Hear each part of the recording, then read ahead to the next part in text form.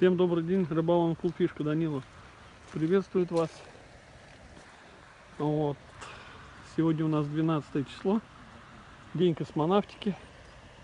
Всех с праздником. И вот что у нас на данный момент на водоеме. Моем, моем. Да, сегодня ночью подморозил вот здесь края. Вот. У нас вот есть двое, он жерлицы стоят у них, аэратор работает. Вот видите, водичка мутноватая. Как бы в этом плане вот так.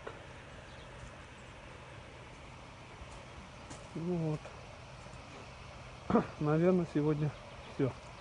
Закроем, потому что вот уже моем. А,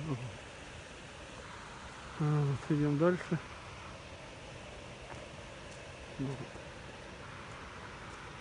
Лед опасный, хотя на середине вот они жерлицы стоят. Можно свободно как бы ходить, но здесь уже вот у нас как. Вообще говорю, ночью подморозило. 4 градуса мороза было. Ну вот как-то вот так у нас на сегодняшний день.